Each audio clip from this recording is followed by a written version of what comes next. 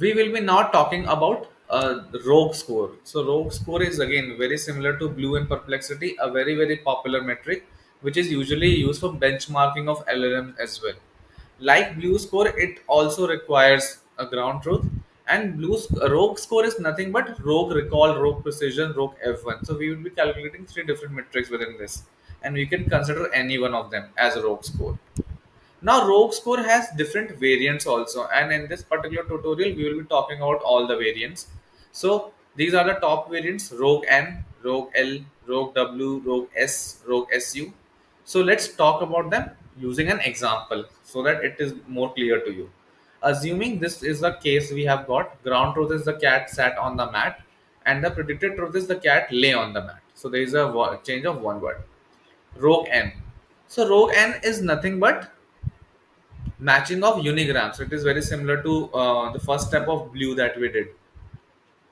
So out of the six uh, tokens that we have got for reference and generated text the overlap is of five words. Hence precision is equals to 5.6 recall is equals to 5.6 do, do remember that recall is the denominator is total reference unigram. Reference is ground truth. While for precision the denominator is total generated. That is the predicted unigrams. Do remember this and f1 score is 5 upon 6 because you are taking the harmonic mean as we do in the case of normal statistics. So ROUGE 1 is easy. ROUGE 2 is also similar to what we did in n-gram precision. ROUGE 1 and ROUGE 2 can be taken as n-gram precisions only and that we did in BLEU. So uh, we would be first forming out bigrams. Bigrams are nothing but pair of consecutive words. So the cat, cat sat, sat on, on the similarly and then we will be checking for overlaps which uh, bigrams from the generated text are matching with the reference one. So we have got three matching text, the cat on the, the mat. Hence precision is 3 upon 5, recall is 3 upon 5, F1 is 3 upon 5. 5 is the total number of bigrams that were generated from the refer- uh, from the generated text while in case of recall the denominator is coming from total number of bigrams in the generated text uh, do remember this now talking about ROUGE L. So ROUGE L has a little difference. ROUGE L basically calculates the longest common subsequence. So longest common subsequence is a very interesting problem in computer science and mathematics, which basically asks you to calculate the sequence that appears in the same order, but not necessarily consecutively. So basically, if in the example you say the cat sat on the mat, the cat lay on the mat. So here you can see that if you remove the third word from both the cases, the cat on the mat, the cat on the mat. So the sequence is coming in the same order, but it is not consecutive. That is called as the longest com common subsequence. So we would be first of all calculating the longest uh, common subsequence length, that is 5 in this case, the cat on the mat. Precision recall F1 score would be calculated similarly, LCS length upon generated text length recall LCS length upon reference text length. Moving on to ROUGE S. So ROUGE S uh, is again an extension towards ROUGE 1 and ROUGE 2 that we did. Measures the overlap of skip bigrams between generated text and reference length. So I think in the first case we understood what are bigrams. Uh, an update to it is skip bigrams. So in case of bigrams, uh, we were just considering pairs from consecutive words. The cat, uh, cat, the cat set, etc in case of skip bigrams, we would be uh, pairing up all the words from all the other words in the sentences, but in the same order. The cat, the sat, the on, the the, the mat. So eventually, we are picking up the first word and pairing it with all the remaining words. Then we will be picking up the second word. Then we'll be pairing with the uh, forward coming words. In this way, we will be forming our skip bigrams. So these are all the skip bigrams that we got from the reference and these are all the skip bigrams that we got from the generated text. I hope the concept of skip bigrams is clear. Now these are the overlapping skip bigrams that we got and similarly precision recall and F1 is calculated. Now coming to ROUGE SU. So it is an extension of ROUGE S that includes both skip bigrams as well as unigrams. So in this case you saw that there was no unigram considered but in case of ROUGE SU uh, even unigrams would also be considered. Uh, this is done because there is a loophole in S. So ROUGE S focuses on pair of words that appear in both generated and reference text. If no such pair exists, ROUGE S would be zero. But eventually, assume this particular case that was mentioned in the paper itself. The police killed the gunman, gunman the killed police. Basically, the second sentence that we have generated, it is a reverse of the first sentence.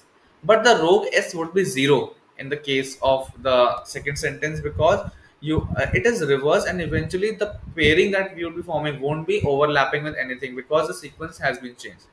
But if you think would ROUGE s equals to 0 for the second sentence make sense? It is uh, ROUGE s equals to 0 implies it is as uh, good as any random sentence like a burger now it is not that bad.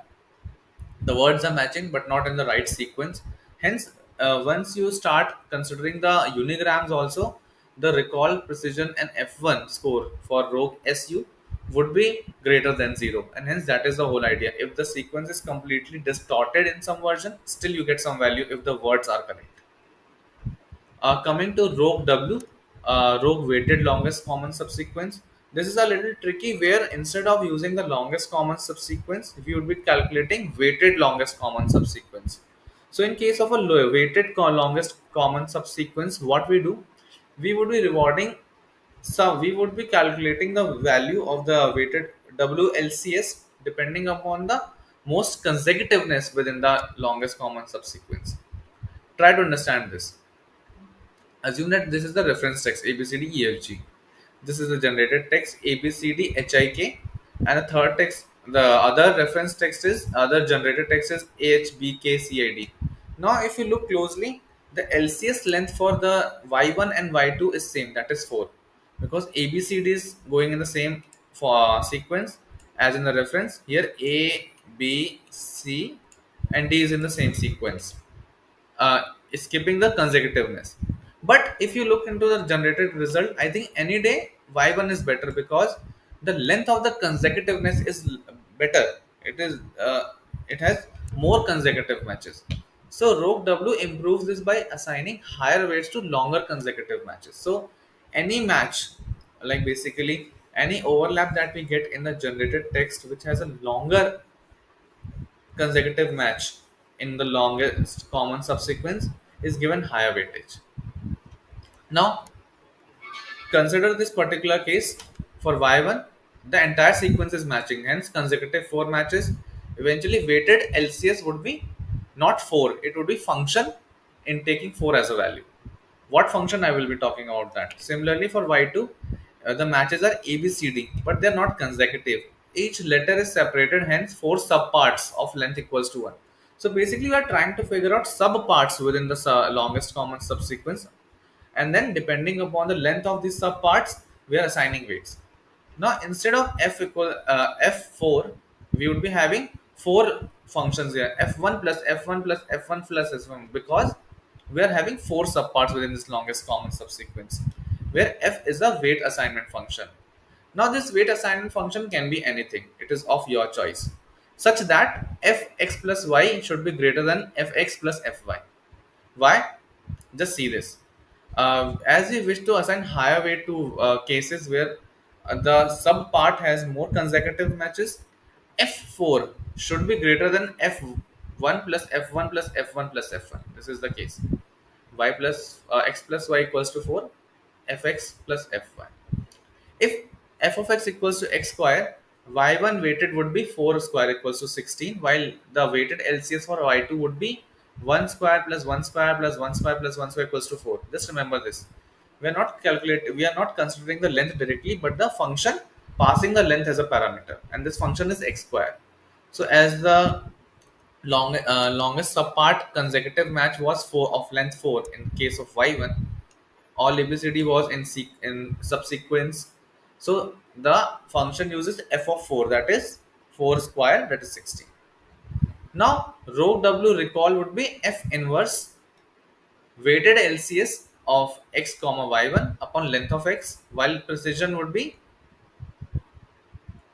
f inverse weighted LCS x comma y1 length of y1. This is the equation that we are following now.